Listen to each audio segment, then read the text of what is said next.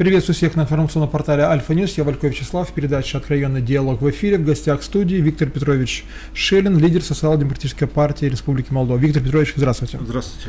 Виктор Петрович, у нас сегодня насыщенная передача, много вопросов. Постараюсь а, быстро задавать вопросы и надеюсь на, от вас на лаконичные четкие ответы.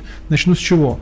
А, события в Тирасполе на прошлой неделе. Я знаю, что там было мероприятие по случаю 20-летия ввода миротворческих сил Российской Федерации в Приднестровье.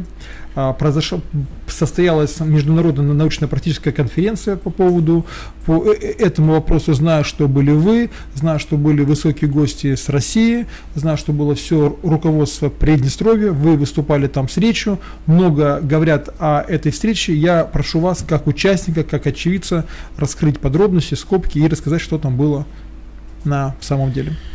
21 июля 1992 года, это я больше говорю молодым людям, президент э, Молдовы Мирча Снегур и президент России Борис Ельцин подписали соглашение о прекращении огня во время вооруженного конфликта в Бендерах и вообще между Приднестровьем и Молдовой и установление миротворческих сил значит, является заблуждением или специально не договаривается, что миротворческие силы у нас состоят из трех частей. Российские миротворческие силы, приднестровские и молдавские. То есть это совместные миротворческие силы. Сегодня все чаще говорят о необходимости прекращения военных миротворческих операций на Днестре. Однако конференция показывает, что нету никаких подвижек или подвижек в вопросе урегулирования э, взаимоотношений между Приднестровьем и Молдовой. Даже более факты, ежедневная риторика правящего альянса говорит о руманизации молдавского государства. У нас заменен язык молдавский на румынский язык, у нас э, закрываются русские школы, русские группы в вузах, у нас дети изучают историю румын, а не историю родного государства. У нас судом выносится решение и разрешается значит, политическим партиям открыто призывать к объединению Молдовы с Румынией, и поэтому с каждым днем все более ухудшается ситуация в зоне э, безопасности. Поэтому сегодня говорить о предпосылках прекращения миротворческой миссии нет. Э, на форуме связанным с 20-летней успешной миротворческой акцией на Днестре, присутствовали высокие представители Российской Федерации, Украины, Молдовы.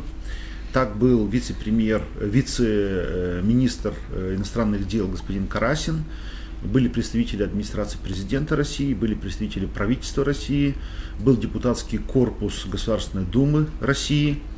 И на этой научной и практической конференции обсуждался вопрос что нужно делать мировому сообществу, что нужно делать Молдове и Приднестровье для того, чтобы быстрее был решен Приднестровский конфликт.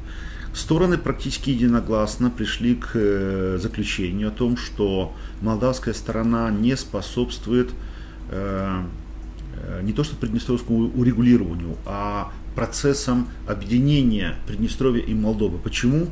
Потому что с того момента, когда Приднестровье объединится с Молдовой, и граждане Приднестровья начнут полноценно участвовать в политических процессах Молдовы, то есть избирать и быть избранными в парламент Республики Молдова, соотношение сил прогосударственников резко увеличится, соответственно, соотношение унионистов резко уменьшится. И не будет возможным вступление Молдовы или присоединение Молдовы к Румынии.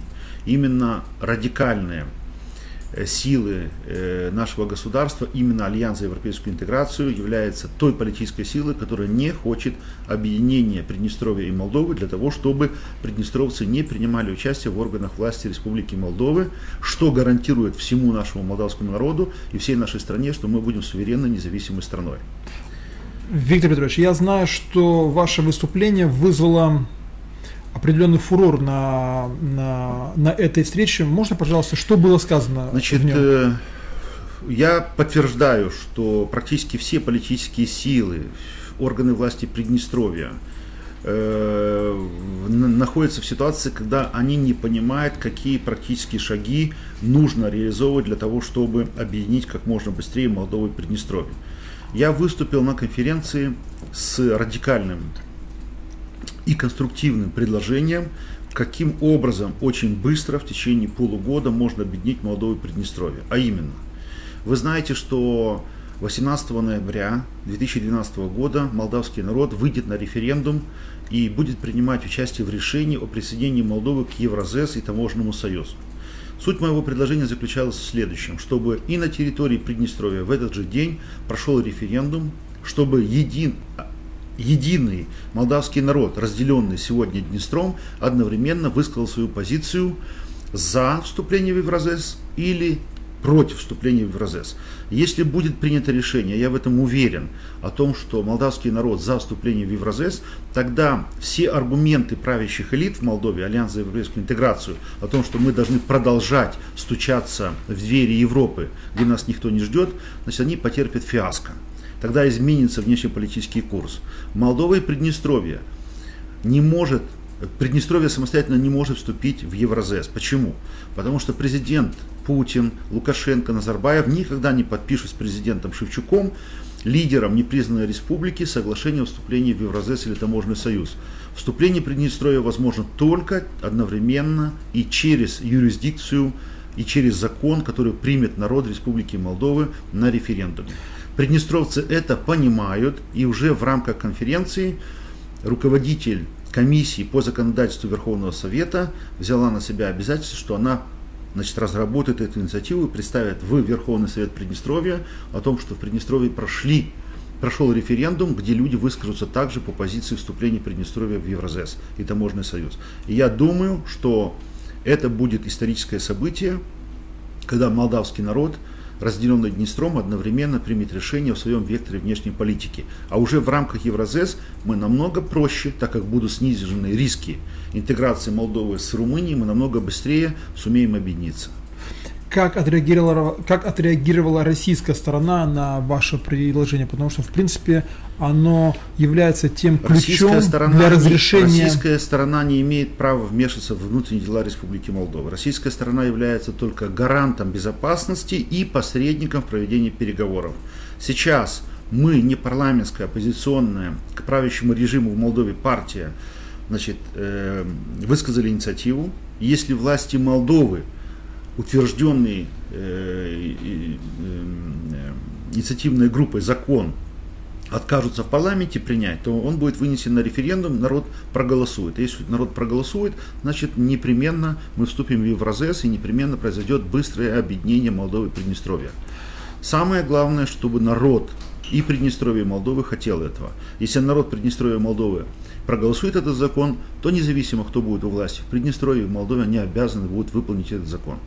Я, как понимаю, у вас после этой встречи продолжится диалог с приднестровской стороной, чтобы а, откорректировать шаги, которые с должны сделать на моей сторонах. встречи с президентом Приднестровья Евгением Шевчук в начале этого года у нас контакты не прекращаются. Я не считаю нужным, чтобы они были публичные, так как мы не представляем органы власти Республики Молдова.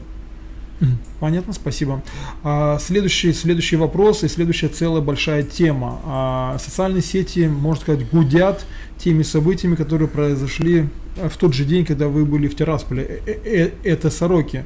А, на туристической базе вблизи города Сорок, на Думбраве, называется Дубрава,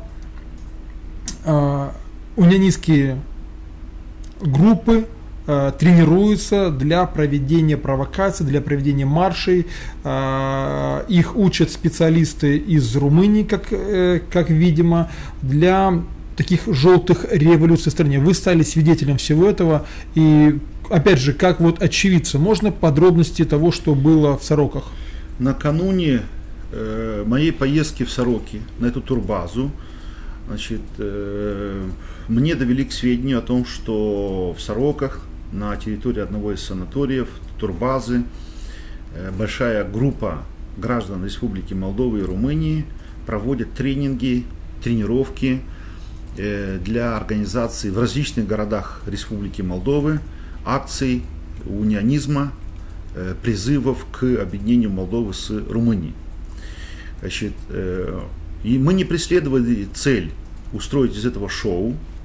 Мы приехали на эту турбазу, сделали вид, что мы отдыхающие, для того, чтобы в течение нескольких часов увидеть реально, что там происходит. Э, я убедился о том, что начиная с 6 вечера до 12 часов ночи там проходили э, э, как бы инструктаж. Три, Молодые люди в возрасте 16-20 лет из Молдовы и из Румынии. Значит, мы установили прямой диалог и с гражданами Румынии, молодыми людьми, так как они не понимали, кто мы есть, и с молодыми людьми из Молдовы, а также с инструкторами из Румынии, для, для того, чтобы понять, какие они преследуют цели и что практически они собираются делать. Было установлено, что всю организацию этого лагеря, всю организацию этой подготовки взяли на себя лидеры Альянса за европейскую интеграцию с города Сорок. Они нашли базу, они разместили на этой базе этих людей, они им подвозят еду, венца, прохладительных напитков, и люди в истерике орут Бессарабия, Помынту, Румынеск. Да.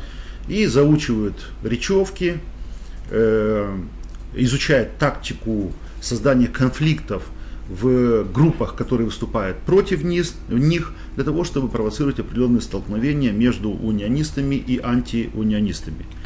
То есть я так понимаю, что цель э, всех этих акций в конечном итоге добиться некой провокации, добиться пролития крови, и похоже, что уже республиканские власти должны будут с этой кровью молодых э, людей из Молдовы или из Румынии носиться по всей стране и преследовать тех, кто значит, против них выступил. И продолжать гонения против всех э, сил патриотически настроенных, кто выступает против этих маршев, прикрываясь лозунгами демократия, право собраний и прочее.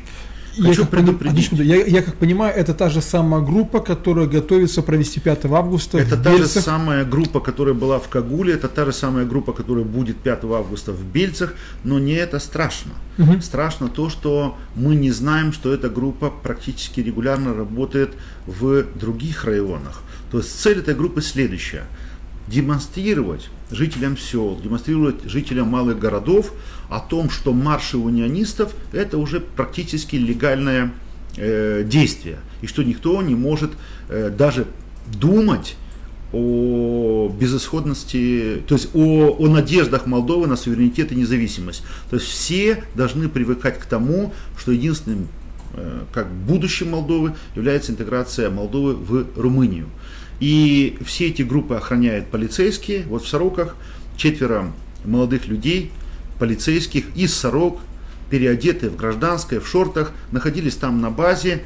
И по социальным сетям примар, коммунист города Сороки подтвердила, что это она уведомила полицейских, что нужно обеспечить охрану общественного порядка. Мне очень странно, откуда в этой истории э, коммунисты, которые примар э, города Сороки, который не препятствует, не запрещает э, организации таких лагерей, а даже обеспечивает охрану. То есть она понимает, что э, люди из Сорок могут возмуститься и могут предпринять какие-то действия. Вот она обеспечила охрану. Казалось бы, это все хорошо, но плохо то, что даже после 23 часов, когда должен быть обеспечен покой отдыхающим на ближайших базах, никто никаких мер не предпринимал, чтобы крики э, Молдова по мынту, э, Бессарабия по мынту Румунеск были прекращены. То есть они ведут себя там достаточно развязанно, хозяевами жизни, хозяевами нашей земли.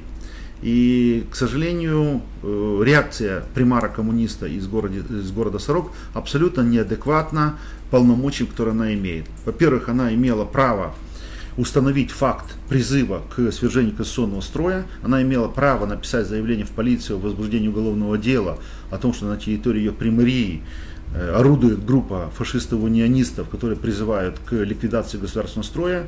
Она же приняла меры к обеспечению их безопасности. И вот способствование таким школам приводит к тому, что потом организовываются провокационные действия в наших городах, вызывается недовольство населения патриотически настроенного и, возможно, будут и стычки. Я полагаю, что власти, властям это на руку. Я процитирую, что госпожа Примар ответила на ваш вопрос. Чего ждал от коммунистов господин Шелин, председатель СДП, а, что коммунисты окружат зону отдыха плотным кольцом, по первому крику пойдут в атаку, поднимут руку на несовершеннолетних граждан другого государства, спровоцируют скандал, и тут главная причина, почему ничего не происходит, который, которым будет способствовать запрету ПКРМ.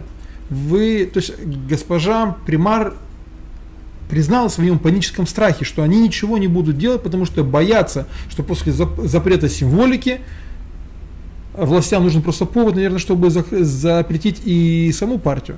Может быть, если, в этом и есть если партия, ответ. если партия коммунистов не собирается ни с кем бороться э, только по причине того, что могут закрыть партию коммунистов, значит, она готова уже функционировать в рамках э, э Молдовы, которая будет в составе э, румынского государства. То есть для них главное сохранить Э, партию коммунистов, а будет она функционировать в независимой Молдове или в Молдове, в Бессарабии, которая будет входить в состав румынского государства, похоже, им уже э, без разницы. Этим можно и объяснить э, те плаксивые митинги протеста, которые коммунисты организовывали на площади Великого национального собрания. Каждую субботу людей привозили, увозили, но не доводили начатое дело до конца, то есть не отстранили альянс от власти и не запретили альянсу выбрать незаконно уже узурпировал власть в стране э, президента Тимофтия. И судя по тому, как активно из партии коммунистов выходят депутаты Дадон и Мишин и переходят в стан Альянса, можно говорить о том, что коммунисты, видные коммунисты, руководители коммунистической э, партии просто являются приспособленцами. То есть поменялась власть, кто-то Кузькину мать показал, вот они уже перебегают в стан Альянса за европейскую интеграцию. Наш, наша позиция очень жесткая, мы будем бороться за независимость, суверенитет нашей страны всеми законными методами. И если против нас будут применять незаконные методы, мы не будем выбирать формы методов, потому что за нами страна, за нами наши дети, наши дома, и мы не хотим, чтобы сюда пришли румыны и начали командовать э, нами. И вообще не хотим ликвидации нашей государственности и нашей идентичности молдавской, как, как молдавская нация. Виктор Петрович, спасибо. Следующий вопрос. На прошлой неделе у нас в городе было очень жарко. И, видать, температурный баланс подействовал на нашего господина мэра. А, в СМИ есть информация, что на одном из выступлений ему от жиры стало плохо. Но после этого он пошел, искупался в озере Валя Морилор. И когда вышел на берег, он сказал такую фразу «Шеллен нафиг с пляжа». Предполагалось, что это относится к тому, к вашему парку, который находится на, рядом с озером. Это парк э, Вентура парк. Какие комментарии? Ш, э, э, Дарину Киртаки не нравится, что есть зона отдыха в городе, где дети могут спокойненько прийти, отдохнуть, поиграться, потому что я вижу у господина мэра уже такая плановая борьба а, именно с зонами отдыха для детей. Он борется с детской площадкой на Чеканах, там, где есть детский парк, где люди могут отдохнуть. Теперь у него костям, костью в горле стал а, Вентура парк. Как вы прокомментируете? Ну, э, общественность неоднократно господина Киртуака обвиняла в том, что он занимается не управлением хозяйственной части города, а больше занимается политическим пиаром как заместитель председателя либеральной партии. Я думаю, что господин Киртак очень возмутился фактом э, того, что я обнародовал, что в Сороках э, вот этим лагерем фашистов-унионистов угу. руководил заместитель примара города Сороки, либерал, э, либерал. Да, член, либеральной член, партии. член его партии. Что касается э, Авентуры парк. Авентуру парк мы никому не отдадим. Снос Авентуры парка мы не позволим, если эти мысли есть. Второе, господин Киртуака, э, видимо, не знает о том, что именно примария города Кишинева в прошлом году выдала нам разрешение на облагораживание значит, всей парковой территории и всего пляжа. Значит, э, сегодня я средства массовой информации показал решение примарии на проектирование, утвержденный проект реконструкции. Значит, был дан один год в прошлом году, в августе месяца, до августа этого месяца сделать проект, и с августа этого месяца, последующий э, год, май месяца, значит, осуществить облагораживание этой территории.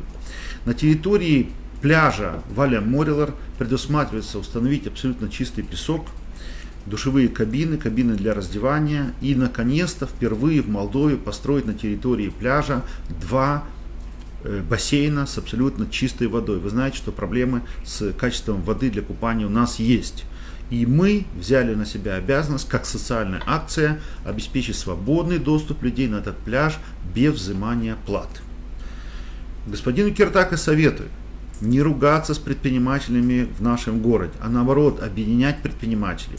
Если он хочет, чтобы действительно в парках у нас была чистота, нужно, согласно закону о государственно-частном предпринимательстве, собрать всех желающих людей, одновременно отреконструировать все парки, все пляжи в городе, заключить контракты, не тратить деньги при мэрии, бюджетные деньги. Есть их куда тратить, на дороги надо тратить, на водопровод нужно тратить, на социальные компенсации граждан нужно тратить. И облагородить все эти пляжи. Пусть люди строят кафешки, зарабатывают деньги за счет водички или мороженого, а пляжи пусть безвозмездно, без взимания платы предоставляет гражданам, но в более благородных условиях. То есть, с одной стороны, в прошлом году примария города Кишинева согласилась с нами, выдала нам все разрешительные документы, и вдруг проходит год, и господин Киртака начинает орать нафиг с пляжа. То есть я думаю, что это чисто политическое преследование. Э, нашей партии, потому что господин э, Карабчан был кандидатом на должность э, примара. И буквально месяц тому назад в студии общественного телевидения молдавского схлестнулся по поводу того, что господин Киртака не выполняет своих обязанностей, никакой реализации проектов в Кишиневе мы не видим, дороги не ремонтирует, а латает по-прежнему, не готовится, не развивает экономику города, и, видимо, это стало причиной вот таких э, превращения нормальных отношений между бизнесом и примарией в политизацию этих отношений. Больше ничего не могу сказать. Спасибо. Следующий вопрос. Завтра 31 июля, на которую анонсирована первая предупредительная забастовка аграриев. В чем она будет за, заключаться? Аграрии обещают, что выставят технику вдоль, вдоль дорог, а, чтобы показать правительству, катастрофичной ситуации в сельском хозяйстве и просят их обратить внимание и идти на диалог и на принятие срочных мер по предотвращению той катастрофы, которая надвигается или уже, в принципе, происходит Значит, в сельском хозяйстве. В нашем распоряжении есть документ, э, я могу его показать. Угу. Значит, здесь указано 33 района, указаны автомобильные дороги в этих 33 районах, на которых будут организованы э, акции протестов э, против политики э, парламента, э, правительства и правящего альянса в области сельского хозяйства. Э, если в двух словах э, объяснить, в чем проблема. Значит, э, парламент и правительство не развивает экономику Республики Молдова. У них нет денег. Э, катастрофически не хватает э, денег для бюджета. И правительство и парламент решили нанести из, э, из-за причины, что нету больше других источников для доходов в государстве, удар на сельхозпроизводителей. То есть они решили им увеличить налог на добавочную стоимость с 8% на 20%, а это для сельского хозяйства губительно. Они решили сократить все льготы, у них нет денег на, на развитие сельского хозяйства, на субсидии сельского хозяйства, а также у них нет денег помочь сельхозпроизводителям выйти из сложившегося положения в связи с градом и засухой, которая была.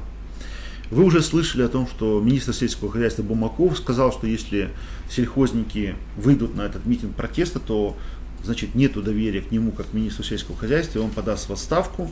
Вы знаете, что господин Лянко уже заявил на днях о том, что нет, не будет безвизового въезда, и он уже за полгода до окончания этого года заявляет, что он не выполнит взятых на себя обязательств и уходит в отставку. Ситуация в стране катастрофическая с пополнением бюджета. Э, социальные фонды, фонд медицинского страхования тоже трещат по швам, нету денег – правительство уже банкрот, и Альянс стоит на пути э, развала. Сейчас каждая партия Альянса будет находить какие-то приличные мотивации, почему она выходит из Альянса, для того, чтобы оставить Филата, значит, э, одного ответственным за все, что произошло. Не удастся. И демократическая партия, и либерал, либеральная партия, и либерал-демократическая партия, которая сегодня управляет страной, а также те, кто к ним присоединились, это группа Мишина и Дадона, несут полную ответственность за ситуацию в стране. Поэтому я считаю, что сейчас пришло время для добровольной отставки правительства. Потому что никаких После заявления о первой предупредительной забастовке правительство никаких мер не предприняло для того, чтобы помочь сельхозпроизводителям и чтобы эта забастовка не произошла. Я думаю, что премьер-министр Филат сейчас будет создавать видимость, создавать пиар телевизионный, что он вступил в переговоры с сельхозниками и что-то, что-то им обещать на следующий год, а может быть на 2014 год, чтобы э, протянуть агонию э, правительства, которое не может справляться с ситуацией в стране. Только радикальные меры в экономике нашей страны, только положительная шоковая терапия, только вступление Молдовы в таможенный союз, откуда мы можем получить полтора миллиарда долларов на развитие сельского хозяйства, может спасти сельхозпроизводителей и дать возможность гарантированную им рынка сбыта своей продукции. Поэтому я абсолютно уверен, что никакие переговоры правительства и сельхозников не приведут к должным результатам, разве что Филат постарается придобрить лидеров э, сельхозпредприятий. Но похоже, что лидеры настроены очень серьезно, не подадутся ни на какие провокации, потому что они уже заявили, что они встречались и с Филатом, и с Тимофтием, и с э, комиссиями парламента, и не услышали никаких конструктивных предложений по выводу и страны из кризиса, и сельского хозяйства в частности. Поэтому я думаю, что эта предупредительная забастовка перерастет в ближайшие дни к массовой и постоянной забастовкой до момента удовлетворения всех требований э, протестующих. А требований у нас 19. Я не хочу перечислять, я вам это все предоставлю, может вы опубликуете на своем сайте для того, чтобы люди знали, на каких дорогах завтра будет митинг и какие требования митингующие предъявляют к правительству и парламенту. Виктор Петрович, вопрос такой. Социал-демократы, как я слышал, э, переходят к прямым акциям протестов, потому что как бы первый этап подготовки к референдуму а, закончен, документы лежат в ЦИКе, есть свободные ресурсы людские для того, чтобы помочь а, гражданам страны. В этих акциях э, социал-демократы как поддерживают а, аграриев? Значит, э, у нас были прямые контакты с организаторами митинга, и мы договорились, что первая предупредительная забастовка не будет политизироваться, и ни одна партия не должна выпячивать свое участие. Со всей ответственностью заявляю, что во всех районах члены нашей партии берут комбайны, трактора и выезжают на эти дороги. Но мы договорились, что ни выступлений меня как лидера партии, ни флагов не будет на этих митингах для того, чтобы э, дать возможность Альянсу не превратить это в политическую акцию. То есть этот митинг – это первый предупредительный митинг с чисто экономическими требованиями. Вот если эти требования не, будут, не будут выполнены, тогда эти митингующие уже начнут выдвигать политические требования об отставке правительства, об отставке Альянса и прочее. А в, на предупредительной забастовке мы договорились, что этого не будет происходить. Я считаю, что это правильно. Виктор Потому Петрович. что у нас на каждой беде народа какие-то партии хотят попиариться. Понял. Виктор Петрович, я бы хотел бы сейчас перейти к вопросам, которые были заданы к, э, вам, адресованы в социальных сетях Facebook и Одноклассники. Я буду их коротко зачитывать и надеюсь, чтобы вы так лаконично, потому что времени у нас не так много, ответили. А, спрашивает вас Павел Бочинин. Какие новости по референдуму? Шерин считает, что ЦИК пропустит эту идею. Отношение, политическое отношение событий в Кагуле и Бельцах. То есть два, даже три вопроса в одном. Первое. Новости по референдуму, что в ЦИКе и ваши отношения на события Кагулах и подготовительные в Бельцах. У Центральной избирательной комиссии нет никаких юридических оснований не возбудить процесс проведения референдума. Почему? Потому что в течение пяти часов 20 июля мы передавали каждый лист и указали, что лист заполнен в соответствии с законом. То есть указан инициатор, который заполнял лист, в листе все фамилии, паспортные данные с подписями есть, да, то есть что соответствует закону. На оборотной стороне есть подпись инициатора, и на оборотной стороне есть подпись и печать местного органа власти, которая удостоверяет, что этот лист был собран на этой территории, что в подписном листе только граждане с этой территории, и что эти граждане все живы и здоровы и находились в период сбора подписей в, на территории Примории. То есть документально все оформлено в соответствии с законом. Если они попытаются, Центральная избирательная комиссия, отклонить какие-либо фамилии по причине, что фамилия немножко неправильно написана, или подпись немножко якобы не соответствует той подписи, которой человек подписывался 20 лет назад, это не является основанием для исключения этого человека. Почему? Потому что в законе ничего о подписях не сказано. В законе сказано, что инициативу о проведении референдума должно поддержать не менее 200 тысяч граждан. Мы представили 232 подписи, фамилии, Э, данные их паспортов, что эти граждане, граждане поддерживают инициативу. То есть Центральная избирательная комиссия, имея фамилию данные этого человека, должна только удостовериться, он поддерживает инициативу или нет. Если есть сомнения по подписи, они должны позвонить гражданину и сказать, вы, простите, тот человек, да, тот, вы поддерживаете инициативу, да, поддерживаю. А если не поддерживает, то этот гражданин должен написать письменное заявление, что он под этой инициативой не подписывается, то есть не поддерживает. Если Центральная избирательная комиссия будет придумывать какие-то другие уловки, а не прямое доказательство, что гражданин не поддерживает инициативу, мы это не будем признавать, мы это будем оспаривать, и мы будем вызывать в Кишинев всех инициаторов и всех граждан, которых пытаются исключить, чтобы они доказывали Центральной избирательной комиссии о том, что они поддерживают инициативу. Если они исключат 30 тысяч, то мы 30 тысяч приведем. Потому что для того, чтобы не пропустить инициативу, нужно не менее 30 тысяч исключить. 32 тысяч 561. Да. То есть мы сдали 300, 232 э, тысячи, значит, для того, чтобы не пропустить инициативу, нужно 32 тысячи граждан исключить. Тогда мы призовем этих граждан, чтобы они доказывали Центральной избирательной комиссии, желательно в один день, что они поддерживают инициативу. Пусть Центральная избирательная комиссия с ними разбирается.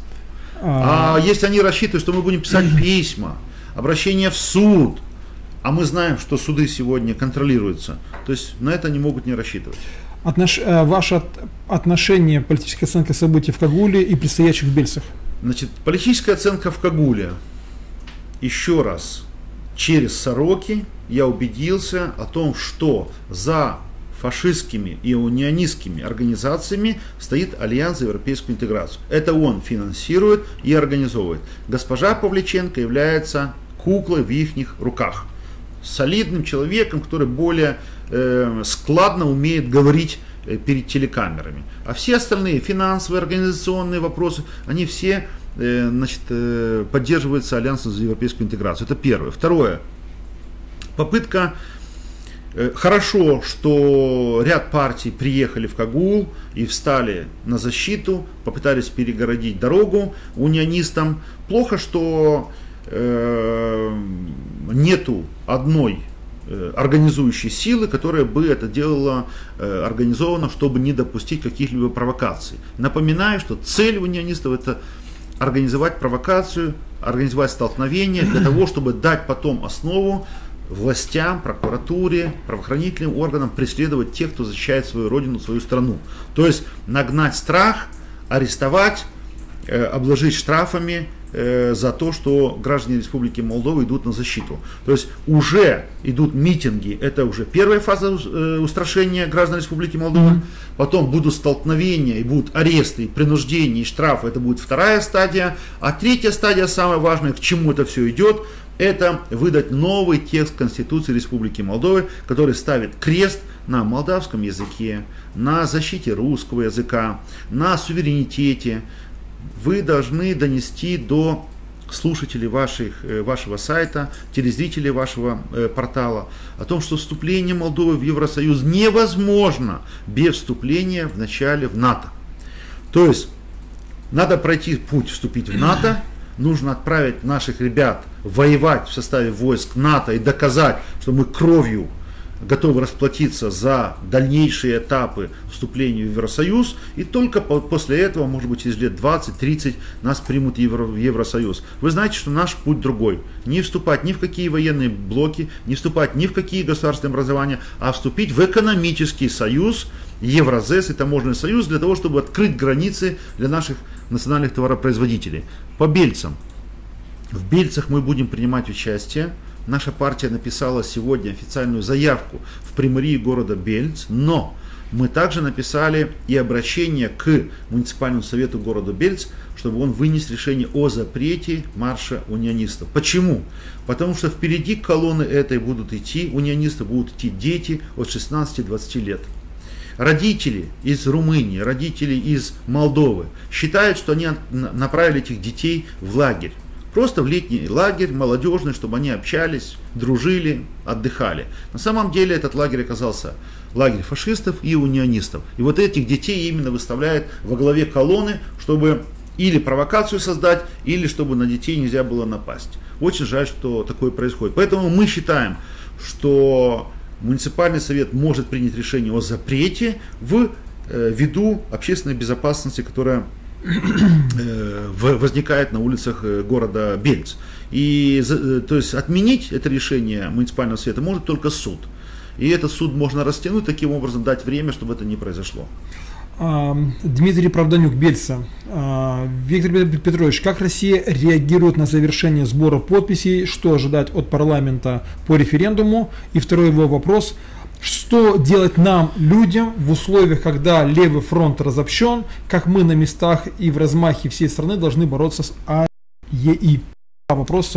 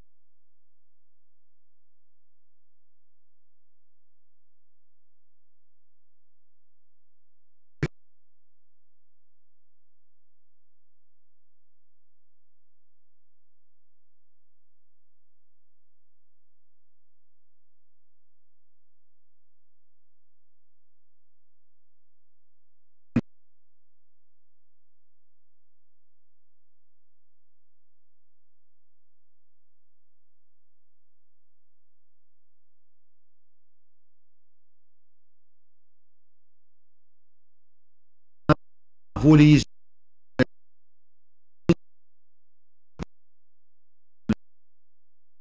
и даем возможность народу самому решить вопрос в таможенный союз или опять топчемся 20 лет на месте. Второй вопрос, что делать нам, людям разобщенность, в условиях да, разобщенность левых сил. Левого фронта. Я считаю ошибочным постоянно заботиться о том, чтобы э, приобретать силу за счет э, объединения политических партий. Я считаю, что граждане Республики Молдова должны оценивать деятельность Коммунистической партии Республики Молдова за 8 лет. Раз. Второе. За 3 года после э, э, потери власти. Они должны оценивать действия других политических партий, принимать решения о том, э, какую партию поддерживать дальше. Если господин Правданюк и другие члены, и, и другие представители общества считают, что мы ведем правильную политику, мы защищаем интересы простых людей, они должны вступать в социал-демократическую партию. И будучи членами партии, если они вынесут решение о необходимости создания с кем-либо союзов, это будет их решение. То есть у нас в партии есть демократия.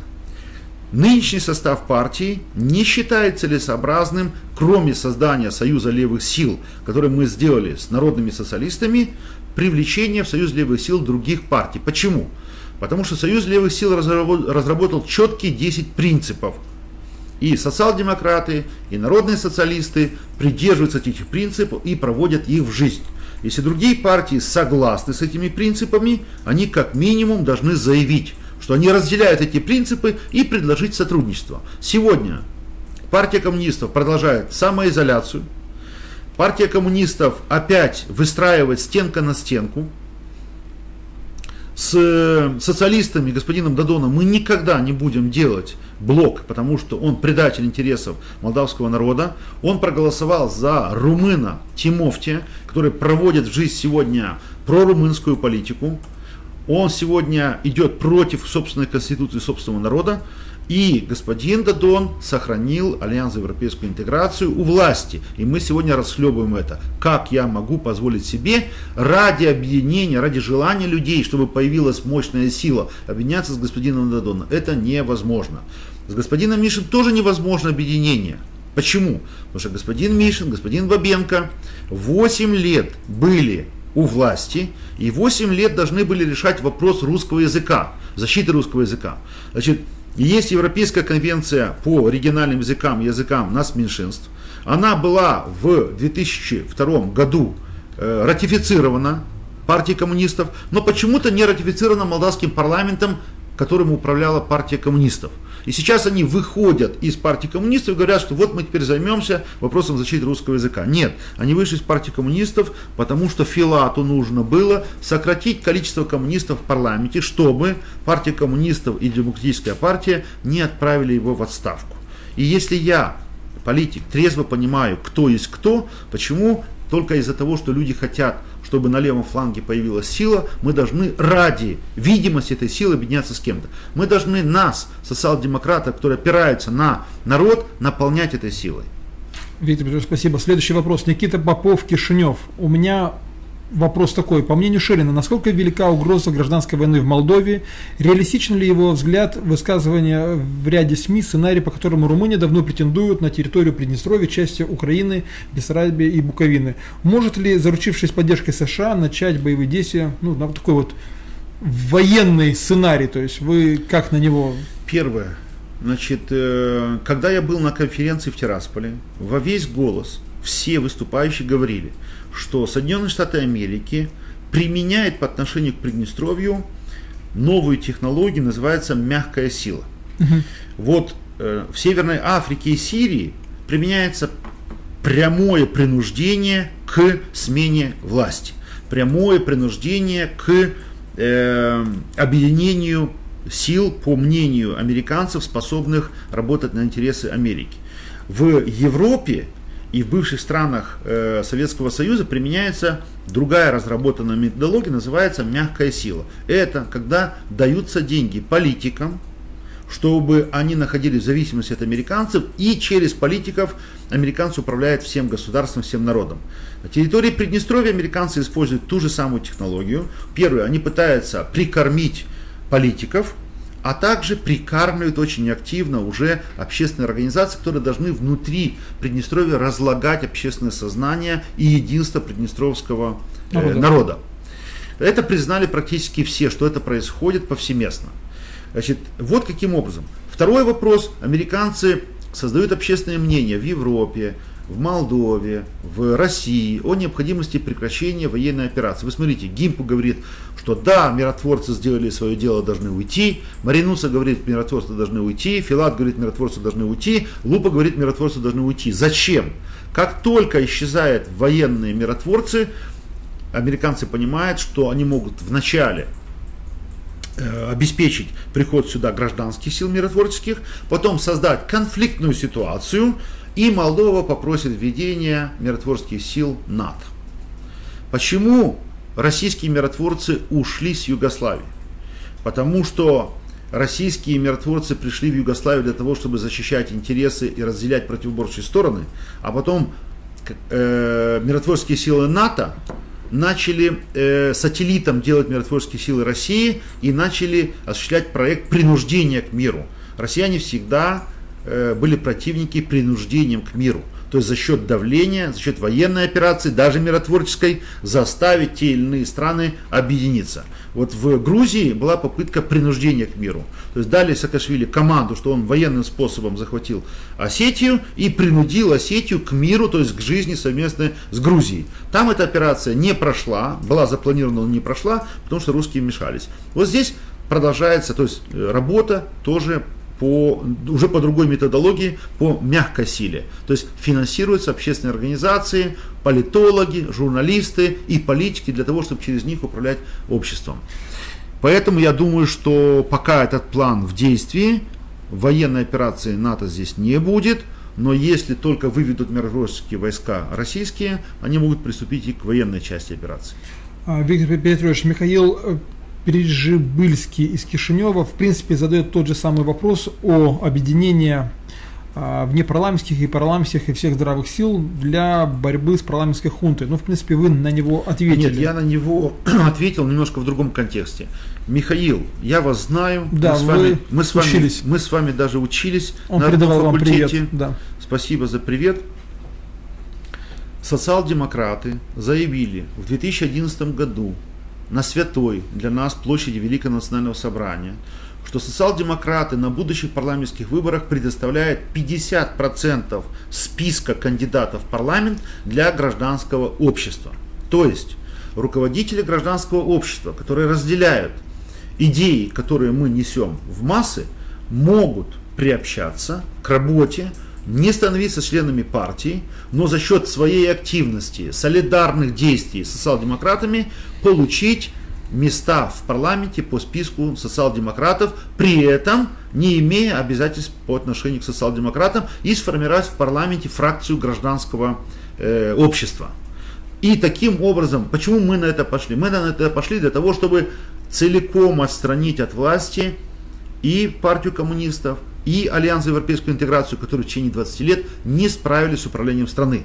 И через нашу партию мы проведем достойных кандидатов с территорий, и через нашу партию мы проведем в парламент достойных представителей гражданского общества, и таким образом выполним наш программный пункт о народовластии в Республике Молдова.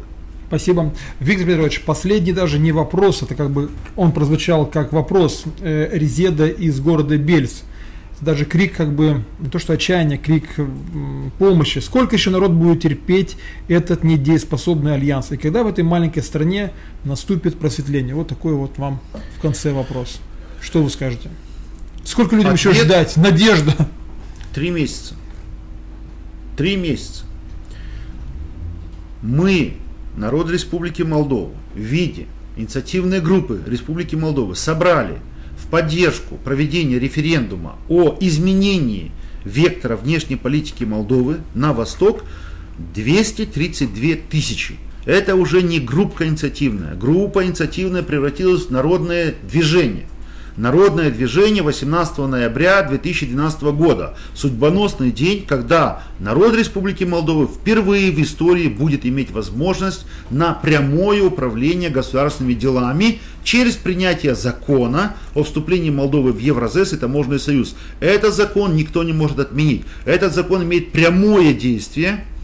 Ни президент республики не должен его промульгировать, ни парламент его не должен утверждать утвержденный, принятый закон народом Республики Молдова обязательно для исполнения всеми органами власти, в частности и на территории Приднестровья. И именно этим законом, который примет народ Республики Молдова, воспользуются и приднестровцы для того, чтобы вместе с нами войти в таможенный союз, но при этом убрать таможенные посты вдоль Днестра, пограничные посты вдоль Днестра, а Российская Федерация свои миротворческие силы выведет в казармы.